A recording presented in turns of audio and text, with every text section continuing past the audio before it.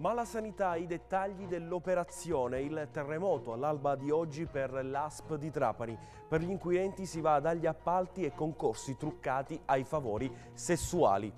Non luogo a procedere per l'ex sindaco Pagotto. La decisione oggi da parte del GIP di Trapani. Stabile è il piano regolatore di Valderice. Si attende l'importante provvedimento per una nuova economia in paese. Buonasera e bentrovati con l'edizione serale del TG Sud. Iniziamo con la notizia eh, di eh, oggi per gli inquirenti, quindi stiamo parlando dell'ASP di Trapani, nel terremoto che si è abbattuto all'alba eh, di oggi si va dalle ipotesi di appalti e concorsi truccati fino ai favori sessuali. Il servizio. Il terremoto che si è abbattuto sulla sanità trapanese con appalti regolari, concorsi pilotati e anche un caso di molestie sessuali non ha risparmiato la politica. Tra gli indagati dell'operazione della Guardia di Finanza, infatti, ci sono la Presidente del Consiglio Comunale di Trapani, Anna Lisa Bianco, ed il consigliere Gaspare Gianformaggio. La prima è finita agli arresti domiciliari, indagato a piede libero invece il secondo. Secondo l'accusa, il consigliere di Fratelli d'Italia avrebbe favorito un suo amico, Giuseppe Vultaggio, anche lui nello scorso mandato consigliere comunale a Salemi, mettendolo a conoscenza conoscenza degli argomenti relativi al concorso dell'azienda provinciale per esperti amministrativi. Per agevolare l'amico Gian Formaggio si sarebbe rivolto al direttore sanitario Gioacchino Oddo, finito in carcere, che contattando la presidente di commissione Antonina Lacommare, indagata a piede libero, avrebbe mostrato le domande d'esame al consigliere comunale.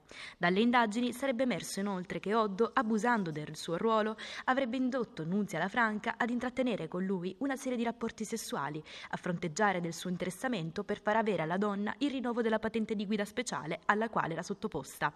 Annalisa Bianco, invece, assunta dall'ASP con la procedura Click Day come collaboratore amministrativo professionale, avrebbe saputo in anticipo gli argomenti e le domande del concorso. Ad informarla sarebbe stata la funzionaria dell'ASP Giuseppa Messina, anche lei finita in carcere. Gli altri indagati sono Fabio Damiani, ex manager dell'ASP di Trapani, già finito in carcere nel maggio del 2020, nell'ambito dell'operazione Sorella Sanità, Antonella Federico, Giovanni Iacono Fullone, Alberto Adragna, presidente dell'Ordine degli Odontoiatri di Trapani, che con Bartolomeo Gisone, direttore sanitario del noto laboratorio d'analisi cliniche trapanese Baiata, avrebbe indotto il personale ASP a redigere atti ideologicamente falsi omettendo l'indicazione di Adragna quale soggetto positivo al Covid nel 2021. Ed ancora Antonino Sparaco ed Attilio Giuseppe Bonavires, anche loro finiti agli arresti domiciliari. Non luogo a procedere per l'ex sindaco di Favignana Giuseppe Pagotto. Questa la decisione presa oggi dal giudice delle indagini preliminari. È stato emesso oggi dal Tribunale di Trapani il dispositivo di sentenza di non luogo a procedere nei confronti dell'ex sindaco di Favignana Giuseppe Pagotto, un procedimento giudiziario della Procura di Trapani che aveva portato i militari della Guardia di Finanza ad arrestare l'allora primo cittadino di Favignana nell'operazione Egades, dove finì indagato assieme ad altre 23 persone, compreso il suo vice sindaco Enzo Bevilacqua. E proprio con lui finì nel mirino degli inquirenti per il troncone della vicenda Acque Marnavi la società napoletana appaltatrice per le tre isole del trasporto idrico. Per entrambi è arrivato il non luogo a procedere assieme alla dirigente della compagnia di navigazione Antonia Vitozzi. Stessa decisione anche per le società Vetor e Vemar in relazione ai reati loro scritti. Non luogo a procedere anche per Francesco Martorana, Angelo Rinaudo, Pietro La Barbera, Giuseppe Iovino, Giuseppe Salone ed Ignazio Marino, coinvolti a vario titolo nell'indagine. Il Tribunale ha disposto in giorni 30 il termine per il deposito della motivazione, un'operazione che aveva destato molto scalpore nell'opinione pubblica anche per la spettacolarità nella modalità, con le immagini di Pagotto portato fuori dal palazzo comunale e scortato nelle auto civetta della polizia giudiziaria in favore di telecamere, un procedimento che apparve subito assai claudicante nell'impianto accusatorio e che infatti ha portato già a ridimensionare e di molto la posizione processuale dell'ex primo cittadino dell'Egadi. Ancora cronaca, notte di terrore per un anziano mazzarese rapinato nella sua abitazione. Il responsabile è stato arrestato dai carabinieri. Notte di terrore per un anziano mazzarese di 88 anni rapinato nella sua abitazione in piena notte. Ad agire un 25enne che è stato arrestato dai carabinieri. Il giovane, armato di coltello, si è introdotto nell'appartamento iniziando a rovistare nei cassetti alla ricerca di denaro contante e oggetti preziosi. I rumori hanno svegliato il pensionato che si è alzato dal letto dirigendosi verso la cucina. Qui ha sorpreso il malvivente che si è scagliato contro la vittima designata. Ha puntato l'arma contro l'anziano intimandogli di continuare consegnargli i soldi che aveva in casa. Al rifiuto lo ha aggredito, ferendolo alle mani e al volto, dandosi poi a precipitosa fuga dopo aver prelevato una banconota da 50 euro dal portafogli dell'88enne. La vittima ha chiamato i carabinieri, fornendogli una dettagliata descrizione dell'abbigliamento indossato dall'aggressore, sostenendo che probabilmente si trattava di un giovane che lui conosceva, anche a giudicare dall'accento e dal timbro di voce. I militari dell'arma sono riusciti a individuare il fuggitivo che è stato arrestato, ora è in carcere. Cambiamo decisamente argomento, iniziativa solidale dei tassisti trapanesi che nella giornata di venerdì 15 dicembre si rendono disponibili a trasportare gratuitamente i donatori di sangue. L'idea nasce dall'appello di Giovanni Cimino, il primo ad avere un defibrillatore in taxi. Trasporto gratuito per i donatori di sangue nella giornata di venerdì 15 dicembre. E questa è l'iniziativa dei tassisti di Trapani ed Erice che vede il sostegno anche del comune di Trapani in collaborazione con il comune di Erice, l'ospedale Sant'Antonio Abate e la Croce Rossa. L'iniziativa nasce dall'appello di Giovanni Cimino, tassista di Trapani, noto per essere il primo ad avere un defibrillatore a bordo. Cimino ha invitato i suoi colleghi a offrire il loro servizio a chiunque voglia donare il sangue.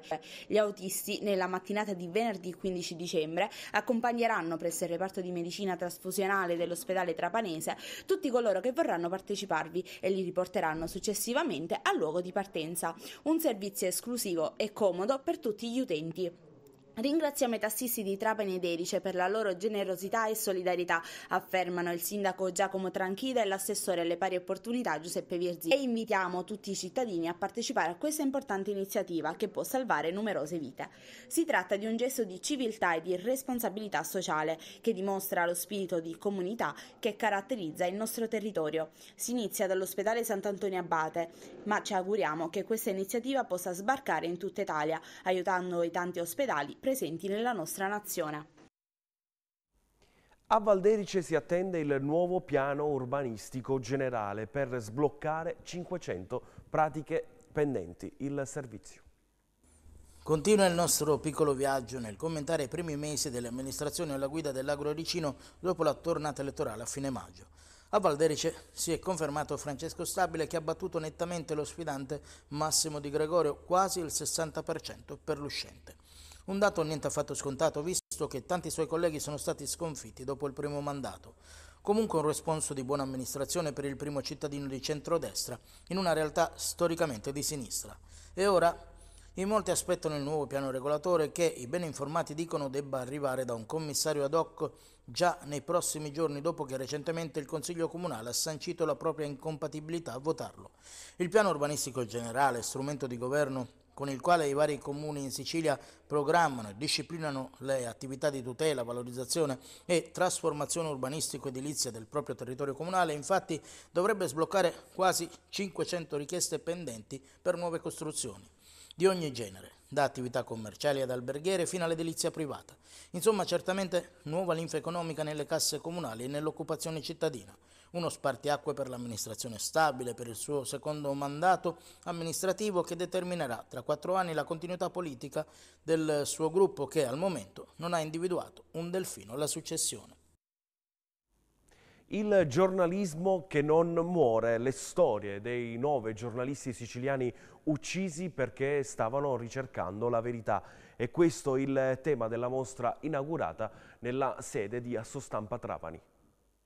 L'iniziativa è stata promossa dalla segreteria tramanese dell'Associazione Siciliana della Stampa nel locale confiscato alla mafia in via Duca d'Aosta a Erice Casasanta, locali che oggi ospitano la sessione provinciale del sindacato. Allora, abbiamo aperto per la prima volta questi locali che sono locali confiscati alla criminalità organizzata e dati in concessione all'Assostampa dal comune di Erice. Abbiamo aperto per la prima volta alla cittadinanza con questa mostra, questo evento aperto gratuitamente al pubblico, che racconta un po' i, quelli che sono eh, i colleghi che in Sicilia hanno sacrificato la loro vita svolgendo il loro lavoro, perché non erano eroi, ma eh, colleghi che hanno, uh, sono arrivati fino alle estreme conseguenze pur di, di svolgere il, il, loro lavoro. E quindi da Cosimo Cristina, assassinato nel 1960, fino a Maria Grazia Cutuli, caduta come inviato di guerra in, in Afghanistan.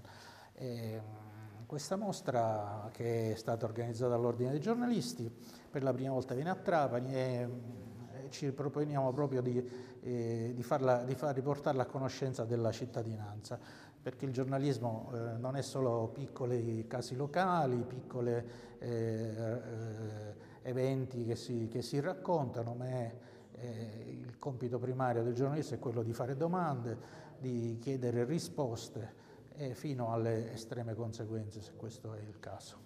La mostra è ideata e curata dal consigliere dell'Ordine dei giornalisti di Sicilia, Franco Nicastro, racconta le storie e il sacrificio dei nove giornalisti siciliani che nell'Italia repubblicana hanno perso la vita con una catena di agguati cominciata dal primo omicidio di Cosimo Cristina nel 1960 fino all'uccisione di Maria Grazia Cutuli in Afghanistan nel 2001, passando per Mauro De Mauro, Giovanni Spampinato, Mario Francese, Peppino Impastato, Pippo Fava, Mauro Rossagno e Beppe Alfano. L'idea nasce dal fatto che eh, la Sicilia ha registrato un record negativo di giornalisti uccisi e minacciati. In nessun'altra parte d'Italia ci sono nove cronisti assassinati e già questo è indicativo, ma vorrei dire che tutto va inquadrato in una vicenda che supera la dimensione eh, personale. Queste sono storie che riguardano non i singoli cronisti, ma l'insieme de, de, della tutta la comunità giornalistica siciliana che è stata orrendemente colpita.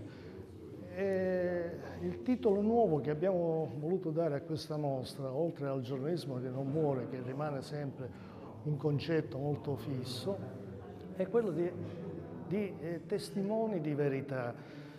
E questo è il filo rosso che lega tutte queste storie. Erano colleghi che cercavano la verità e che sono morti eh, eh, esclusivamente per eh, il lavoro che stavano svolgendo ed era un lavoro di scavo, non era una semplice enunciazione e una narrazione di fatti. La mostra sarà visitabile tutti i giorni, dalle 16.30 alle 19.30 e domenica dalle 10 alle 13, tutto questo fino al prossimo 17 dicembre, con ingresso gratuito.